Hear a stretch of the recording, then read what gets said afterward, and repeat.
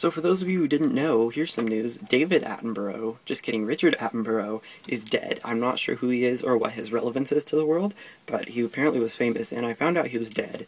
I thought he was David Attenborough, which is what this plant is named after, but apparently he's not, and he might be the brother of David Attenborough, so condolences if um, that is the case. I don't know. Like, would he be watching this video? I don't think he would. Hey guys, so today we are going to be taking a look at some Nepenthes attenboroughii seedlings that are like two years old now? No, wait, they can't be two years old. They're over a year old. They're like a year and a half old, year and eight months, I guess. So this is the bigger of the two. For comparison, like this is my finger.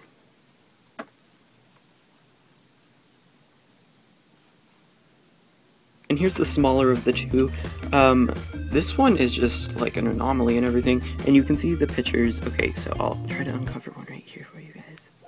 This is breaking news evidence stuff first time ever on camera. And it looks like it has like a little like red, what do you call those, wings on them. I don't know if it'll be like that on the adult pitchers. I don't think they are. I think they're like cuppy shaped. And this guy is growing pretty fast. Um, I don't know. Yeah. Oh, so I also have some other seedlings that people might not be interested in, but I'm going to show them anyway. Um, so they're over here on this side of the greenhouse. And these ones here might be like um, naturally made. I think they are. They're Botstriana bifusca but then they're by something else. Um, they came from a guy's greenhouse who had like a crap load of plants all flowering at the same time, and he didn't pollinate them all except for the really important ones.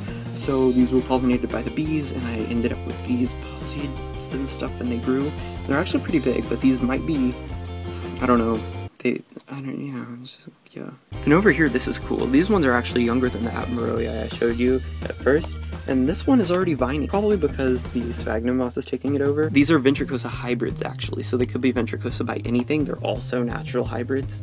These would actually be really cool to see what they are. I have no idea what they are. Oh, and before I forget, I, I harvested a bunch of seeds from this thing right here. Luckily, it's right in front of my face. I just chose this filming position arbitrarily, but um, I harvested seed pods from here, and they are or were being they will they were given away on my website. Some of them were given away. Some of them were put on eBay. That way I could get some feedback on my account before I start selling all this collection and stuff. So go to my website um,